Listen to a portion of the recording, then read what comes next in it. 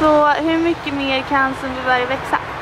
Jag tror att Sundbyberg är, eh, även fast vi är Sveriges minsta kommun till ytan och väldigt eh, tätt eh, befolkad redan så, så finns det alltid möjligheter att utveckla. Det kan vara hus som går att bygga på, det, det finns parkeringsplatser, det finns tomma ytor, eh, breda gator. Så det finns alltid möjlighet att förändra och utveckla staden.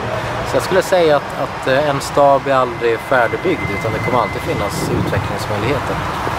Men tror du att eh, Sundbyberg, eller har ni någon annan strategi än många andra kommuner för att just växa? Jag tror att dels har vi väldigt mycket fokus på att det är bra med tillväxt. Vi pratar väldigt mycket om tillväxtens fördelar.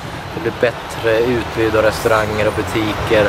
Vi kan ha en bättre offentlig service som förskola, skola, äldreomsorg. Eh, vi får pengar för att investera i gator och, och torg och, och, parker.